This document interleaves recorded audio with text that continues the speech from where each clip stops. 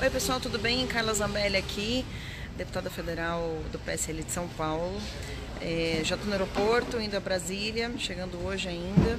E grande notícia, né? Por 55 votos a 12, lá no Senado foi aprovada a MP 871, que deve trazer para os próximos anos um retorno de 150 a, de 100 a 150 bilhões de reais por conta desse, desse pente fino do INSS. Então, excelente notícia.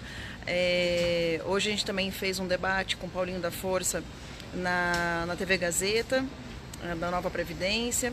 Pedi para ele, lá na, no debate, que ele libere a bancada, assim como os outros líderes também, para votarem conforme sua consciência. Isso é muito importante a gente começar a trabalhar com os nossos uh, deputados, tá? Deputados de todos os lugares do Brasil, a gente tem que pedir para eles votarem é, conforme a sua consciência e principalmente para os líderes liberarem a bancada no momento da reforma da Previdência. Também temos que começar a trabalhar com o Rodrigo Maia a questão das votações nominais, que é super importante, para que cada deputado deixe sua marca ali registrada é, de como pensa e e que vocês possam avaliar melhor a, a forma de cada um, cada, cada um dos deputados pensarem, né?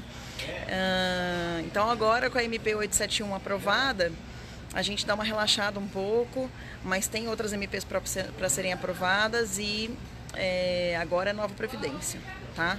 A gente tem que também olhar o, o texto da MP do saneamento básico, que não foi aprovada, mas a gente pode tentar aprovar. Uh, via PL. Obrigada, Vera. Obrigada mesmo pelo carinho. Pessoal, é isso daí. Estou embarcando já para Brasília, estou em São Paulo. Logo, logo vou estar tá lá. Queria estar tá lá no Senado agora para passar a mensagem para vocês de lá, mas não deu tempo de embarcar mais cedo. Tá bom? O PEC da Bengala é uma boa agora, hein? que bom, né, gente? O... Que eles trabalharam na segunda-feira. Bom, eu também trabalhei segunda-feira, só que aqui de São Paulo, tá? É, acabei de sair de um debate lá da TV Gazeta e foi muito bom um debate com o deputado Paulinho da Força, líder do Solidariedade. Vou postar um, depois um trechinho para vocês, tá bom? Gente, divulga aí então, vamos comemorar mais essa vitória do governo Bolsonaro, MP 871 aprovada. Agora temos que ir rumo ao PLN número 04 de 2019. Vamos estar firme e forte essa semana lá para votar todas as, as pautas necessárias. E já tem, uh, acho que marcaram uma extraordinária para quarta-feira, um pouco mais cedo. Ao invés de começar às 16, vai começar às 2 da tarde, tá? Então essa semana, ó, vai ser puxadona, do jeitinho que a gente gosta.